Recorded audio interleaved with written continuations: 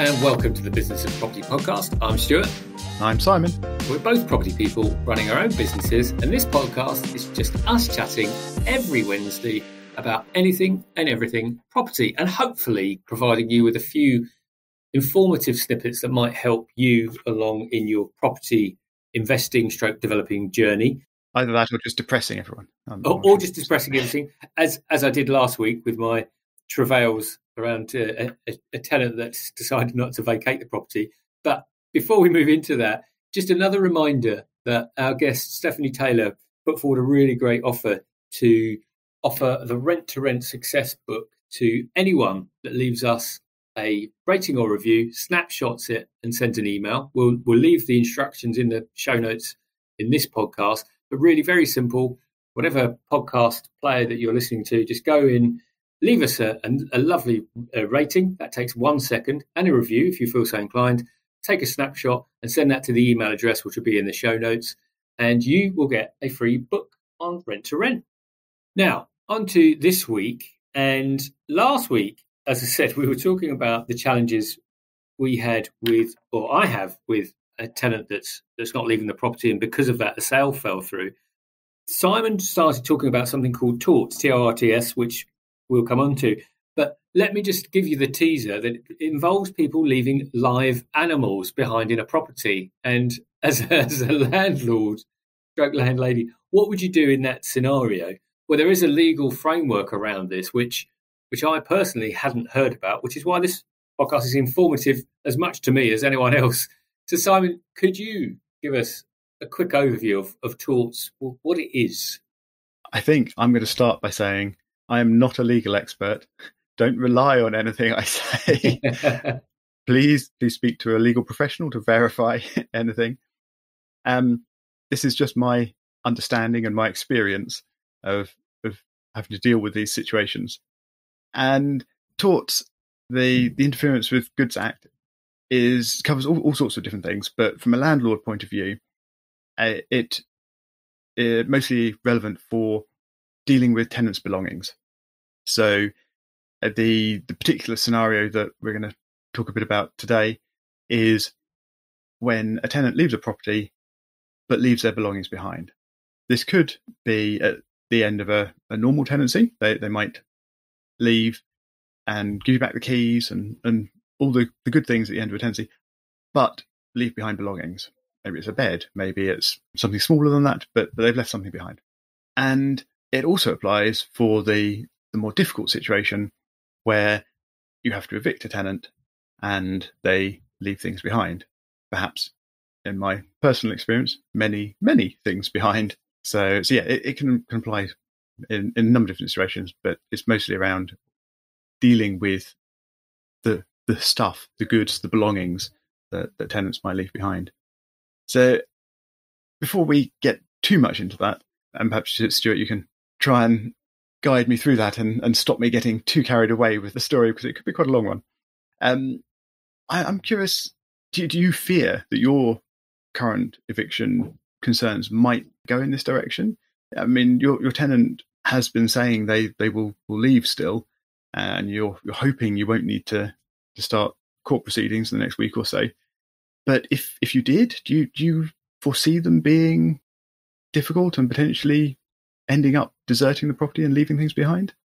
I certainly wouldn't write it off. I think any, anything could happen, and the, the, tenant seems to be, well, as we mentioned last week, is certainly not a clean, uh, a cleanest of tenants, and has a lot of stuff.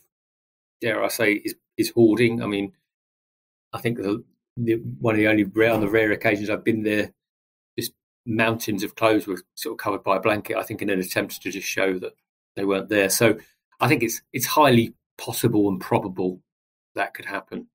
And, and, as you were talking about that before, when you and I were talking about it before the record button, I was just thinking, you know, if you if you weren't aware of some of this stuff, you know, it's not beyond the realms of possibility. You could accidentally just remove some things. Yeah, and that's exactly the problem we had, really. Both the unawareness and and the the accidents. So the I'll focus on the unawareness bit first. When we were in this situation, we spoke to the, the NLA, as they were then, their helpline, and we spoke to the local council as well, asked them what needed to be, be done. And we got different answers. We even got different answers from different people within these organizations. So it, it does seem to be very unclear exactly how you have to handle these things and what responsibilities you, you have to the tenants and to their, their belongings. And to, to sort of give away the end of the story a little bit, we did end up following some advice, perhaps with a, a cautious twist on it, and yet it wasn't enough. And and we, we learnt learnt the hard way that that it wasn't enough. so yeah, I don't know where where where, where should we start with this story? What would you like to know next, Stuart? Well, well, let's start there. What was the hard way? What what did you learn? Because that's that's the bit I think for anyone listening. That's that's probably the the first primary focus. What did we learn? Uh, so the the main thing we learned was be very careful what you do with tenants' belongings that, that are left behind, effectively abandoned, because you can't conclude that they're abandoned for a really long time. So the correct behaviour with the tenants' goods is either you don't touch them, you leave them where they are, you allow the tenant to come back and, and have access and take them away if they wish, or you can, if you want, change their location. However, if you're going to do that, you need to be really, really careful with it. You need to make sure you document everything that's there. You need to make sure that, if possible, that's either done by a, a professional company or it's witnessed so that you, you could record it or you could have a, a human witness or whatever. But it, but it needs to be verifiable that you haven't removed anything or you haven't damaged anything. Then if you if you want the, the property back, so you, you want to, to use the property for something else again, you have to look after those goods. You have to put them in storage. And while in theory the tenant is liable for the cost of that storage, of course, in reality, you have to pay for it first as, as the person who's who's needing that storage. So so you can get the property back, you can empty it, but you have to do it carefully. You have to look after those goods as as if they were your own. even even if they're ostensibly rubbish, you could possibly make a call on certain things if you want and, and sort of throw them away. And there's certain difficult situations, like for example, live animals, you you obviously have to make some kind of call on those. You you can't you, you can't take a, a, a parrot and, and put it in a storage locker for, for three months. So, so yeah, you, you have responsibilities to these goods to look after them, and probably for three months. So it's quite a long time that you you have to look after these things before you can really truly consider them abandoned. And there there might be sort of complications around that if the tenant is is making certain requests or asking for extra time or whatever. You you can't necessarily just conclude that okay, it's exactly three months, we throw it all away. So, so yeah, it's it's complicated, it's difficult, it may well be costly, and yeah, there are lots of difficult edge cases around things that are obviously rubbish or things that are, are alive. And yeah, we had some difficulty navigating this. well, I'm not surprised because because my my immediate approach before I knew about this would, and I have never done this, just to caveat it, but would be just to throw all of the items, excluding animals, into the garden and set fire to them. I'm obviously being facetious, but I can think and, and, sort of hear other people sort of saying, and I'm playing devil's advocate here, is that for the tenants as well, they need to be able to prove. So let, let's say, for example, they left a bunch of items in, in the property. As we know, if, if that's the case, where, and particularly in your case that, you, that you've spoken about, where you know it, it's taken you forever and a day to get the, tenants out, They've then left, stroke vacated the property, but left their stuff in it, and they're they're allowed to. Uh, I mean, you know, it's just it won't just be my blood boiling when you you know as well as yours because you've actually been through it, and then we have to suffer the pain of keeping that stuff there in a property where we're going to try and rent it to other people. So no, that's not an option. Then I have to take their stuff and put it into storage and pay for it. It's just quite crazy, isn't it, to think that?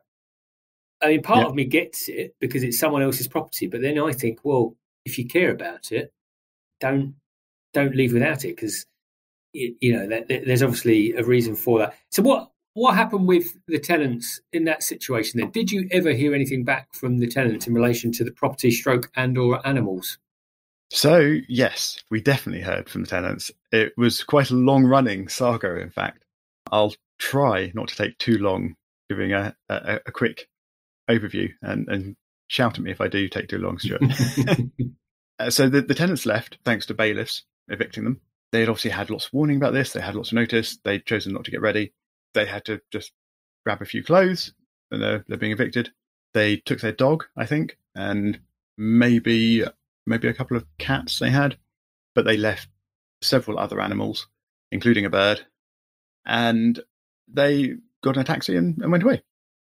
And they seemed, from talking to them afterwards, they seemed to assume that they would still be able to just come back in every day and, and almost treat the property as their home still. But of course, they couldn't. This wasn't allowed. Uh, we changed the locks. It was no longer their home. We were able to, uh, or should I say, one of the neighbours volunteered to look after one of the animals, I think. But the, the other animals, of course, we had to do something with. So we we contacted Animal Charity, and they had to, to come along and, and take these animals away. And of course, the the tenants were then very upset about this. We we'd stolen their animals and and taken them away from them, and that was obviously sort of on top of existing animosity. So, uh, so yeah, this was a fairly difficult situation. What were the animals? Oh, now you're asking. I could, I could go back through court papers and work this out because it was all documented for the court uh, for later stages in this process. But I can't remember off the top of my head. I remember there was a bird, but I'm afraid I can't remember what else there was. I think, I think there might have been sort of hamstery type smaller animals and maybe also a cat or two that they left behind. so, so, yeah, it's, it's, it's a small collection. yeah. So yeah, more than enough that needs caring for, basically. Yeah, yeah, definitely and and in actual fact, the animals were were kind of easy to actually deal with because we, we couldn't leave them behind. They, they had to be dealt with. Because obviously you, you can't leave animals to fend for themselves because as domesticated animals and caged animals, they, they obviously aren't able to do that. And you're not legally allowed to euthanize animals. I don't think no. you've got a license for that. No, no, no, I definitely don't. I don't, don't, think I'd have the stomach for that either. no, me either. Uh, so yeah, so that, that, had to be dealt with. But uh, but the goods, the, the the clothes, the the furniture, the the jewelry, the rubbish. There was actually just bags of rubbish as well that they left behind. Was was actually sort of more complicated to deal with. And we spoke to, as I said, NLA and council, and we got conflicting responses from them some suggesting we had to wait two weeks before we could do anything, others suggesting that we could just do what we liked, others saying, no, it's going to be a month. So we actually played it quite cautiously. And I think we waited about a month and a half before we did anything. As in, we, we left the all of their goods in the house. And during that month and a half, we allowed the tenants to make multiple visits back to the property. They're all supervised, but multiple visits back to collect all of their goods, anything they liked, and they came in multiple times, as in three or four times, something like that, during this this month and a half or so. And and each time they they pick up a few goods, a few few bits and bobs, carry a bag full here or there, and, and go again.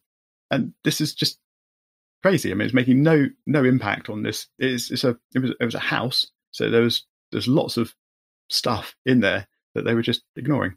Uh, and then the we gave them warnings, told them that in X days we were going to start disposing of their goods, and uh, and the the date came, and and we did. We started throwing away the things that we thought were obvious rubbish. Other things we collected together that we thought um, might be sort of of value for for recycling or for giving to charity and things like that. We also found some things like sort of certain items of jewelry and things that we thought they, the tenants probably would actually really want. So we put those to one side as well, so we could specifically give them back. And we went, went through this process, cleared the house. It took weeks to, to actually get through everything. And some of the, the bits and pieces that the tenants did then take away, but most of it, they were incommunicative, didn't express an interest in wanting. And, uh, and yes, we, we disposed of it and we thought, okay, that's the end of it. Well, that's it's done. Now we can redecorate and get the property rented out again. And then we received court papers. This was the, the tenants making a claim against us for disposing of their property. And they, they were trying to claim, oh, I forget the figure, but it was, it was thousands of pounds. I think it was just under £10,000, something like that. Oh, they, they were trying to claim for, for, for the value of their goods that we, Mm. we disposed of. that uh, that they decided to leave in in a house that they no longer resided in. Yep. Such was the value to them. Exactly, yes. And, and decided to continually leave there despite multiple opportunities not to. And yeah, this, of course, upset us slightly uh, and concerned us a little. So we then sought professional, paid help. We enlisted a, a solicitor who, who then actually sort of went through the law with us and and basically said, "Yeah, you probably broke the law," um, because we we didn't have the the full documentation for witnesses and things for as we we sorted through all this stuff. We didn't have the full logs of everything, and most critically, we probably didn't wait long enough before. Well, we definitely didn't wait long enough before actually processing all, all of these these goods. It should have been at least three months to be to be safe, and we didn't wait that long. So this was obviously a bit bit concerning, and uh, the the whole process did actually go to court. We did have to attend a court hearing and sit in front of a, a judge and and explain things. I, I won't give away the result just yet, but the Oh, you tease. the, the the some of the things that were, were claimed and were, were put in by the, the tenants were were quite crazy. So I mean, they they submitted a list of all of the things that we supposedly disposed of that, that were theirs that had value that added up to this this claim amount that they wanted. Magical 10k. Yeah. Yep. And obviously, we went through this list item by item to actually check what was there, what wasn't there, and things. And it was just a crazy list. I mean, they actually had items duplicated on it. Presumably, they just didn't even check it. But but yeah, they had, had items duplicated. They had some items that we we never saw. We were absolutely convinced just didn't exist, weren't in the property. Quick question. Yep. With th- these tenants, how, how much were they in arrears? Ha ha ha. For quite a long time, they had been paying some of their rent, but not all of the rent. And by the time they were eventually evicted, they were they, they owed us thousands of pounds. I, I can't remember the exact figure, maybe six or seven thousand, something like Okay. that. Uh, this list of belongings, there were uh, there were some things that were in the property though, and were actually in sort of some of the, the things that we put aside that we thought might be important. So there was actually some of these things that we were, we were able to give back to them, or at least offer to give back to them, and that actually proved to be more difficult than you would think if they were so desperate for them that they were putting in a court claim for them. But but anyway, there were some things we give back, some things that didn't exist, uh, some things that were duplicated, and of course the values of things seemed to be completely crazy. Uh, many of them nowhere near as as valuable as as they claimed.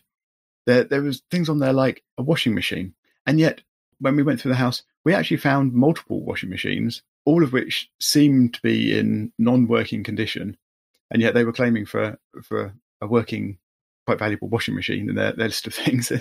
Just all sorts of really bizarre stuff. So they had a big list, not well thought out, duplicated. Yep. And because this was all going through the court, this was officially submitted documentation to the court. We had to go through and prepare a response to it, line by line, what we thought, what was duplicated, what was not duplicated, what was there, what was not there, what some of the things we'd given back already in, in their earlier visits, some of the things that, that we had available to give back, and and of course try and correct the values of things.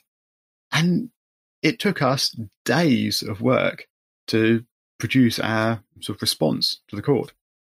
So this is just really, really tedious stuff. And of course, we we did then go to court, get to sit in front of a judge, and we, we had sort of two defences. One was that although we didn't meet the letter of the law, we did try to provide access, to wait a while, to to look after the goods and to to be respectful and obviously kept some things that we thought they, they might want back and things like that. Yeah, it was quite clear you didn't do my approach and throw everything in the garden and set it on fire. no, indeed. so that that was one of our defences. The other defence that we, we put in was that the the tenant actually owed us all this back rent. That as part of the eviction, the courts had said we are owed, but we had never tried to follow up. We'd never actually tried to to claim that money from the, the tenants. So so we said, well, even if you find that we owe all this money for this the, these goods, which we don't think we do, once we do our sort of revised list, we think it's worth much, much less. But even if you do, the tenant still owes us more anyway in back rent by the time we, we'd revised the list. So, so we had those those two defences, and uh, and yeah, we, we went to court. We we sat in in a, a nice nice room just with the judge. It wasn't a wasn't a fancy courtroom or anything, just a, a sort of meeting room, and it was very stressful, but it was actually quite straightforward. The judge talked to the tenant, they talked to, to us, they asked straightforward questions, they looked through the, the paperwork. And yeah, the, the end result was that they actually just dismissed the claim. So, uh, so yeah, we went through an awful lot of hassle over a period of months. We paid thousands of pounds to a solicitor to advise us that the solicitor didn't actually follow it all the way through to court because that would have been even more thousands of pounds. We decided to represent ourselves. I, I say we because I was owned this property jointly. Yeah. But, but yeah, so it, it cost us thousands of pounds in in legal advice, months of time and and headspace thinking about it, days of effort actually preparing things. The, the end result is that in, in our own heads, we think we quite possibly did fall foul of the, the absolute letter of the law, but ultimately it was dismissed. And the end result was we all just go back to the, the situation we were in before. Uh, so there you go. A, uh, a long and laborious story with no real result. well, that was my final question on this. Is so? Did you ever get anything back from the tenant with regards to the rent? I mean, did you follow that through? No, we just decided it, it's not worth the hassle. They, we, we know these tenants don't actually have money to speak of, so there's no real point trying to follow up for for thousands of pounds when their their bank balances are probably in the hundreds, and it's it's just it's just not worth it. So you, you didn't put a CCJ out or anything? No, no, we didn't. Uh, we had had quite enough of courts by this point. Yeah. well, it's and, it, and I think anyone listening to this that, that has experience would have had the same similar thoughts to me very early on in your story. My thoughts were the winners here are going to be the solicitors because that's that's how it goes and, and, not to say that they shouldn't because they're providing a valuable service because they're they're translating the you know the the legal information so that we that we can make better decisions but you know their, their time costs money. And, and and like you said you you had to pay for that to get that solid advice because everyone's got an opinion but it's only when you when you have to pay for that opinion that that you can that you can hold someone to it. And that's you know that's that's where it is. And that and that's why the, these stories are so sad from a from a property investor perspective because you know no one won in that scenario. You know you can even argue that the, the tenants themselves didn't win and, but all they've done is is cause you know it, and this is where i think a lot of us get frustrated because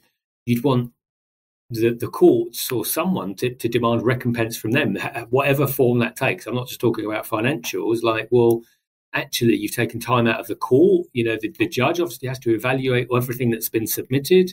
You've paid, uh, you know, and they're doing this because they're they're chancing, aren't they? And you know, in, in their heads, maybe it was maybe yeah, we'll get a couple of quid, or maybe we could just write off our debt by doing this. Who knows? We can't get in those minds, but that is why we get frustrated because sometimes for us, it, the law feels a bit lopsided. And you know, you know, I've said it many times, and it's quite clear you've approached this in a, a moral and an ethical way, probably certainly a lot more than, than I would have done. And I can't say uh, on a recording exactly how I would approach many of these things, but the lesson there is that we do need to be mindful of this because of people like that that, that, that know a system. You know, I guess uh, did they have to provide evidence of what they said was in the property, and could they? They had to provide what is called a, a witness statement. So this is is basically a document that you want to claim as true to the court. And of course, the more hard evidence you can back up what you say in this witness statement, the better from, from a point of view. So, for example, in our, our response to their, their claim, we included uh, copies of the letters that we'd given them, given saying we're we're going to dispose start disposing of your goods in the next days. We included uh, signed statements from third parties to prove that we we had delivered these these letters where we claimed and when we claimed, and that these letters were were correct, or these copies were actually copies of what we delivered. So we provided evidence like that. On their side, if they had been able to provide evidence, so photos, for example, or receipts or something like that, then I think that would have helped their case a lot. In actual fact, all they provided was a list and their their personal claim that these things existed. Yeah, and, and no longer did. And, and, this is where I'm going with it. And obviously, like you said, we, we're not liars. We certainly don't provide advice. If anything, our stories are warnings of what to avoid and what not to do. Don't.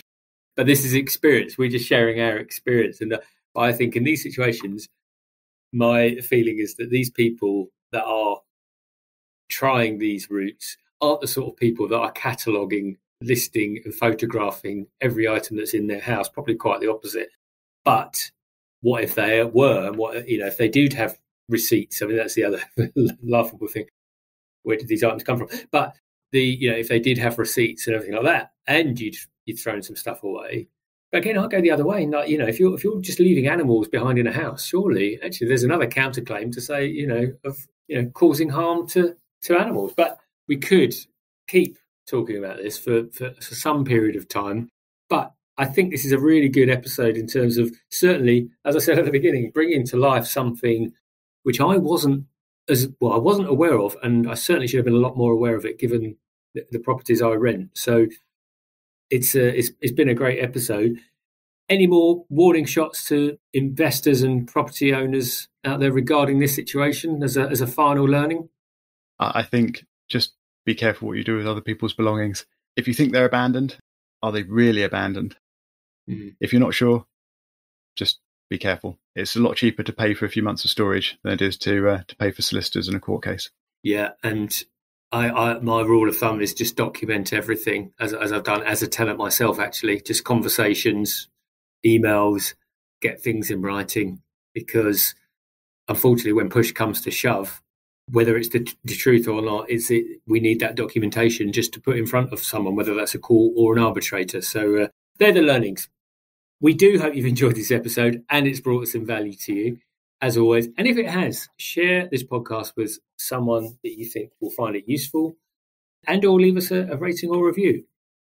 As with everything, we'll leave you relevant links in the businessofproperty.com website as well as in the show notes to this episode. Other than that, we'll see you next week.